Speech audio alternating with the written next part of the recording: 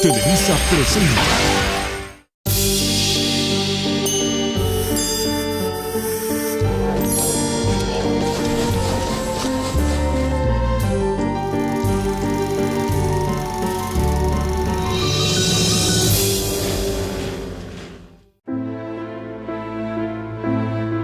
El 7 de octubre de 1913, el senador Belisario Domínguez fue secuestrado por agentes del gobierno en el céntrico Hotel Jardín de la Ciudad de México. Crítico implacable del presidente usurpador Victoriano Huerta, a quien combatía en sus discursos, el secuestro indignó a los mexicanos y los alentó a combatir el régimen de terror impuesto desde la presidencia. Tras la figura pública del valiente senador chiapaneco y su defensa de los derechos civiles, hay un hombre con otra historia, la del médico humilde de Comitán, cuya obra social y moral es todavía su mejor legado a México.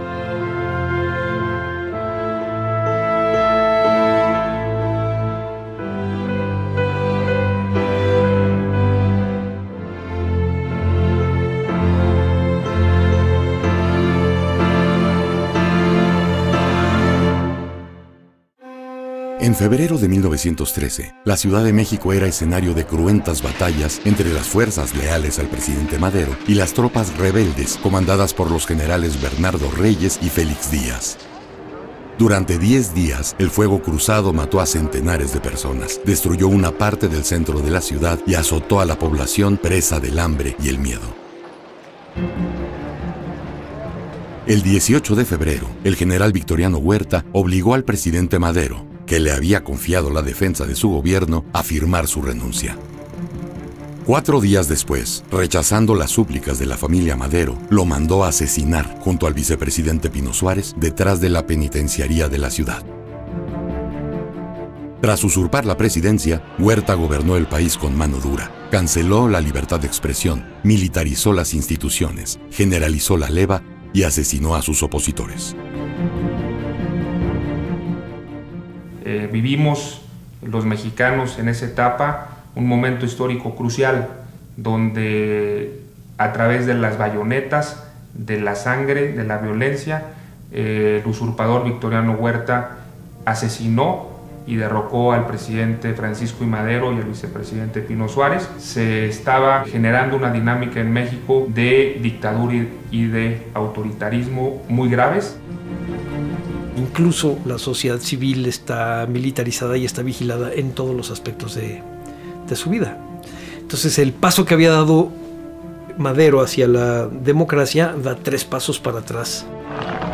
Para septiembre, los agravios promovidos por Huerta se volvieron contra él.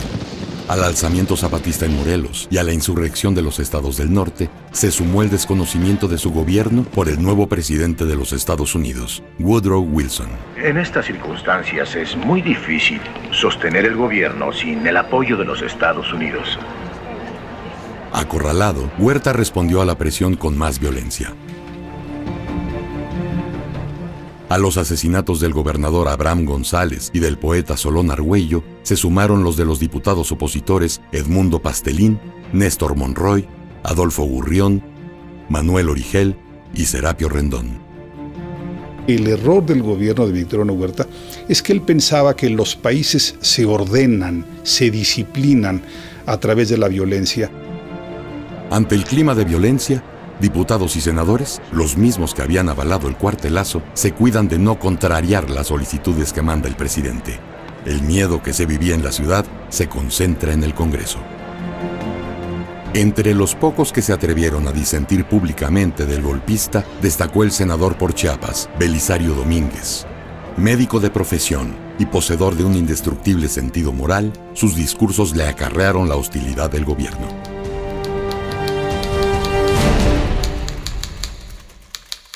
Hasta su último discurso, entregado el 29 de septiembre, el doctor dijo lo que todo el mundo sabía, pero nadie se atrevía a decir. Que Huerta era un asesino y su presidencia ilegítima. Que la revolución desatada era la respuesta a sus atropellos y que el deber del Congreso era despojarlo del poder que injustamente le había concedido. La noche del 7 de octubre, el senador recibió la visita de su hijo Ricardo en el céntrico Hotel Jardín donde se hospedaba. tuvo la visita de su hijo, Ricardo, que estudiaba la preparatoria, pero el hijo se hospedaba en una casa de estudiantes. Entonces fue a visitarlo, estuvieron un rato juntos. Cúbrase, papá. Pasadas las 10 de la noche se despidieron y el senador regresó a su cuarto. No volverían a verse nunca. A las once y media, cuatro agentes de la policía secreta irrumpieron en la habitación 16 asignada a Domínguez. Forzado a subir con los agentes al coche, el senador dejó al portero una última nota dirigida a su hijo. En la ciudad a oscuras, el coche avanzó por San Juan de Letrán hasta Arcos de Belén para después tomar San Antonio Abad y la calzada de Tlalpan hasta llegar a Churubusco. Sea donde me llevan, dijo Domínguez, y no me importa. Incapaces de avanzar en el auto a causa del lodo, los agentes se detuvieron a unos metros del Panteón de Joco, en Coyoacán. Uno de ellos, Gabriel Huerta, permaneció en el coche, mientras los otros tres, Alberto Quirós, Gilberto Márquez y José Hernández, el Matarratas, condujeron al senador hacia el cementerio. Apenas traspasada la puerta, Márquez disparó a la cabeza del senador, cuyo cuerpo cayó al suelo. Allí lo remató Hernández con un balazo en la cara. Los asesinos le pagaron a un sepulturero para que enterrara el cadáver. Allí enterraron al doctor Belisario, lo despojaron de sus ropas, su ropa lo quemaron y el bombín, su sombrero, sí lo dejaron ahí. Hecho el trabajo, los agentes se fueron al Café Colón. Allí le anunciaron al presidente Huerta que el huésped del Hotel Jardín ya no regresaría a su habitación. Entonces Ricardo pasó a visitarlo, a darle los buenos días a su padre, cosa que no le encontró. Entonces ahí los del hotel le dijeron que habían ido por él los de la secreta. Entonces ahí fue cuando empezó la búsqueda de Belisario Domínguez. Belisario Domínguez nació en 1863 en Comitán de las Flores, una importante población al sur de Chiapas, a solo 90 kilómetros de la frontera con Guatemala. La ciudad a finales del 19 eh, fluctuaba su población entre unos 10.000 habitantes, que lo convertían en una de las poblaciones más importantes del estado. En cuanto al poder económico, era la más importante de toda la, provincia de, de, Chiapas por su producción agrícola ganadera y por su producción de aguardiente. La riqueza de Comitán contrasta todavía con la pobreza de los indios, despojados de sus tierras por la población blanca y ladina, de la cual han recibido siempre un trato vejatorio porque además yo creo que tendríamos que recordar que estamos hablando de un estado en donde, bueno, es para ese momento es sin duda el estado que tiene la mayor diversidad eh, étnica, lingüística, cultural y que hay una discriminación brutal con respecto a los, a los indígenas. En la próspera Comitán, la familia de Belisario Domínguez no era cualquiera. Su tío, Pantaleón Domínguez, había encabezado el batallón chapaneco en la batalla de Puebla contra los franceses en 1862 y había sido gobernador del estado por una década. Asimismo, su padre, don Cleofas Domínguez, había sido decisivo en la defensa de Comitán ante tropas conservadoras simpatizantes de la intervención francesa. En esas batallas había perdido una pierna. Se sabe que en esa batalla recibió un balazo en la pierna derecha, pero siendo que le amputaron la pierna. Entonces, como mote le pusieron el valiente tullido. Eso fue don Cleofas Domínguez, padre de Belisario Domínguez. Superados los conflictos provocados por la intervención francesa, Belisario y sus ocho hermanos vivieron holgadamente gracias a la actividad comercial del jefe de familia. El padre de Belisario Domínguez no se dedica a la política, se dedica al comercio y más bien se desarrolla ahí en Comitán en este tipo de comercios que venden de todo. Entonces era una familia reconocida en, Comitán, una familia pues, distinguida por, por su posición política y también por su posición económica. En 1876, la muerte de una tía de Belisario dejó en la orfandad a sus primas, Sara y Delina Cebadúa, quienes se acogieron al cuidado de Pilar Palencia, madre del futuro senador. El cariño que se estableció entre el adolescente de 14 años y su prima Delina, de solamente 5, se expresa desde entonces en otra clase de amor, el amor a los indios, a los pobres, a los menesterosos. Desde que él fue niño, él deambulaba por todas las orilladas de Comitán junto con su prima Delina. La agarraba de la mano y salían a recorrer la población de Comitán. Ahí se empapó de las carencias de la población, de la pobreza que existía. Se dice pues que desde joven él le daban su gasto por sus papás y se los iba a dejar a sus amiguitos de clase indígena y de clase pobre. Entonces desde ese momento ya lo querían mucho a Belisario Domínguez. La devoción que Belisario le profesaba a Adelina rivalizaba con su amor al estudio, una afición que no compartía ni su familia ni el medio que lo cobijaba. Muy niño empieza a estudiar francés, después estudia inglés. Cuando termina los estudios primarios se traslada a San Cristóbal para hacer los que siguen, los preparatorios para ingresar a la universidad. Y ahí empieza a acotarse el mundo porque ya no hay más posibilidades. Tras completar los estudios básicos en Comitán y en San Cristóbal, los maestros alentaron al padre de Belisario para que lo mandara a estudiar una profesión en otra parte. El día que decidieron que partiera a París, se fue a caballo rumbo a Guatemala y a Quetzaltenango. Casi tardó la travesía un mes a caballo. Ahí se embarcó en el puerto de Champerico, Guatemala, ya rumbo a París. A los 16 años, instalado en París con la ayuda de su medio hermano Evaristo, Belisario se adapta a la ciudad luz lo mejor que puede. Cursó de nuevo la preparatoria, perfeccionó su francés, procuró mantenerse alejado de las tentaciones parisinas y vivió entregado al estudio en medio de constantes crisis financieras. Apoyado por las remesas de Evaristo y de su padre, padece las malas rachas de la familia en Comitán, con el agregado de estar viviendo en la que, por entonces, era la ciudad más cara del mundo. He pasado y estoy pasando los más crueles apuros. Los fondos se me concluyeron desde el mes de diciembre último. Por otra parte, me parece que sus negocios deben ir mal. Esto me aflige no por mí, sino por mi queridísima familia. Yo estoy acostumbrado a la miseria y me importa poco andar roto y no tener ni camisa que ponerme. Lo que sí me preocupa es tener que suspender mis estudios cuando van por tan buen camino y cuando ya me faltaba poco para ser útil a la familia. Pero hay que tener valor, Padre mío. Soy constante y no me desconsuelo. En julio de 1889, tras vencer innumerables obstáculos, Belisario se graduó con honores en la Facultad de Medicina de París, acreditándose como médico cirujano especialista en obstetricia y oftalmología.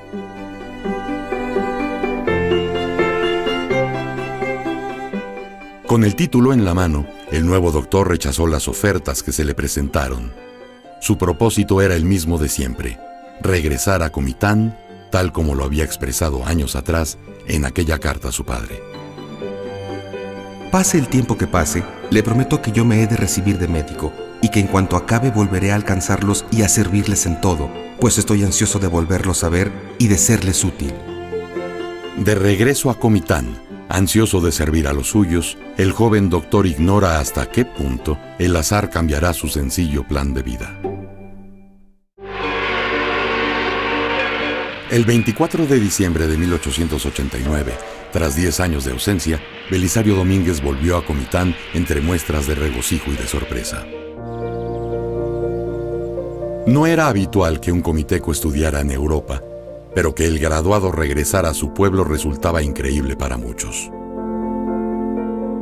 Pudiendo estar en los mejores círculos sociales, que haberse quedado en Europa, eh, tener otro tipo de reconocimientos o venir a México y quedarse en la Ciudad de México, él prefiere venir a este pueblo, a Comitán, a Chiapas. A la fiesta popular siguió una cena en la casa de doña Nicolasa Culebro, representante de la alta sociedad comiteca. La tertulia no solo pretendía agasajar al doctor de 26 años, sino sobre todo conseguirle una esposa. Y todas las muchachas que estaban en edad de casamiento, pues hicieron un acto de presencia en el recibimiento de Belisario Domínguez a ver si se fijaba en una de, ellas, de las familias más pudientes de, de Comitán. Reunidas en torno al joven doctor, las casaderas se fueron esa noche con las manos vacías. Belisario había tomado una decisión mucho tiempo atrás, desde su misma infancia. Belisario Domínguez lo primero que hizo, ir a sacar a su prima Delina y con ella bailó el vals y de ahí le prometió casarse con ella, cosa que se realizaron y realmente fueron muy felices. Casado con Delina, su amor de la infancia, el matrimonio procreó a su hija Matilde en 1891, a la que seguirán Ricardo, Hermila y Carmen, esta última fallecida prematuramente. Asimismo, Belisario abrió las puertas de La Constancia, una farmacia moderna junto a la cual estableció su consultorio, en el que la atención a los pobres ocupaba la mayor parte de sus esfuerzos. Dedicó tres días a la semana para darle consulta gratis, gratuitas a la gente que lo necesitaba. Y que la gente pudiente con dinero les cobraba, pero poco. Y ese dinero servía para obsequiarles la medicina a la clase necesitada. Tenía el consultorio y las colas eran increíbles de gente que llegaba a solicitarle sus servicios y que el doctor no descansaba hasta atender al último paciente. Como le había sucedido 10 años atrás, antes de su partida a Francia, Belisario atestiguó la pobreza, la ignorancia y la injusticia padecidas por su pueblo. Comitán no había cambiado, pero sí su corazón, imbuido de las ideas progresistas de Francia. Se da cuenta el abismo que existía desde la impartición de la justicia, la manera de hacer política, la carencia de recursos, el problema de enfermedades endémicas, el problema de insalubridad que vivía y empieza una labor este, callada, permanente, de tratar de mejorar las, las cosas. Exhausto cada noche al cerrar su consultorio, el doctor consideraba, sin embargo, que no hacía todo lo que podía. No bastaba con atender a los indios que se formaban callados frente a su consultorio. Había que llegar también a los otros, los que no podían trasladarse, los que sufrían más allá de los ríos y caminos vecinales.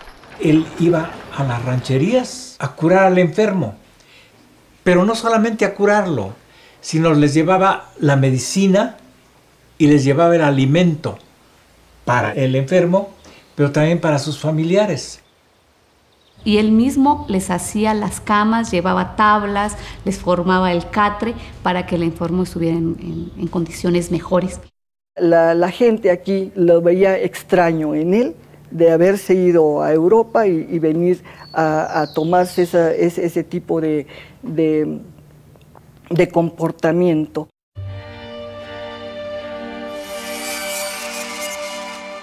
Belisario afronta en 1902 la muerte de su padre y la misteriosa enfermedad de su esposa Delina, para la cual él mismo no encuentra remedio. En el caso de su esposa sí fue un choque muy fuerte para él.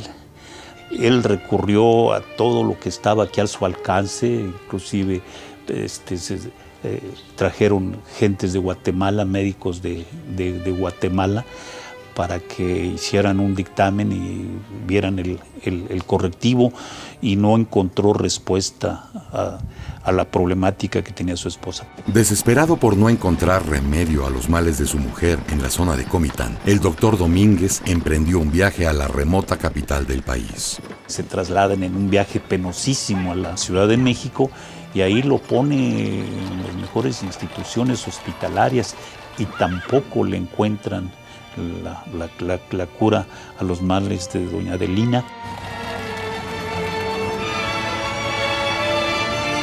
Instalado con su esposa en Tacubaya, las consultas no arrojaron resultados positivos. Delina Cebadúa murió el 22 de diciembre de 1902 a la edad de 32 años se vino abajo el doctor Belisario Domínguez, ¿verdad? sobre todo por la edad de sus hijos que todavía necesitaban este, el apoyo de la madre. Con el apoyo de su hermana Erlinda, quien se encarga de sus tres hijos, el doctor se quedó en la capital del país, donde instaló un consultorio y ejerció además una actividad imprevista, la denuncia política. Mediante las hojas sueltas tituladas Chiapas y Señores Periodistas, así como en la publicación periódica El Bate, que él mismo financia, Domínguez hacía un llamado dramático al rescate de su estado natal. Dirigiéndose a los periodistas capitalinos y al mismo presidente Porfirio Díaz, reclamaba atención para la remota Chiapas, golpeada por una miseria secular y por la escandalosa corrupción de sus gobiernos. Y también les pidió a los periodistas que también colaboraran, que porque él solo no podía con ese paquete que, realizar, y que lo ayudaran también los señores periodistas y que no vendieran su pluma al mejor postor. Su denuncia se perdió entre la indiferencia de la gran ciudad, ocupada siempre en otra cosa. Resuelto a vivir en su pueblo para siempre, el doctor Domínguez regresó a Comitán el 20 de noviembre de 1905. El recibimiento fue simplemente el que ya se había ganado. Llegaba don Belisario, entonces no llegaba cualquier persona, llegaba don Belisario, el que se entregaba al pueblo. Entonces el pueblo le respondía con la misma moneda. De regreso en Comitán, Belisario retomó la vida que había llevado hasta la muerte de su esposa. Adquirió una nueva farmacia, la Fraternidad, e instaló junto a ella un consultorio. Del consultorio a la farmacia había un conducto, un tubo, en donde él pasaba la receta para que se surtiera e indicaba cuánto se le cobraba a la gente. Y entonces había gente a la que no le cobraba y otra que sí. Y sus propios ayudantes de la botica le decían que pues así nunca se iba a ser rico y él decía que eso no era lo importante, lo importante era ayudar a la gente. Aún tienen sus recuerdos don Asisclo las recomendaciones de don Belisario, las recomendaciones que siempre tenían como meta principal ayudar al prójimo y curar a los enfermos necesitados. Solo con sus hijos y reacio a contraer otro matrimonio, el doctor llenó ese vacío con la entrega habitual a los humildes. Los años habían pasado y sus esfuerzos eran los mismos, tal vez más. Se iba a la sierra en mulas y entonces curaba a la gente, operaba por allá y si no los podía operar, se los traía en la mula a las personas y las operaba en su casa y, no salían de ahí hasta que estuvieran restablecidos. Entonces les pagaba comida, alojamiento y demás, que ahora quisiéramos verlo en un hospital en México.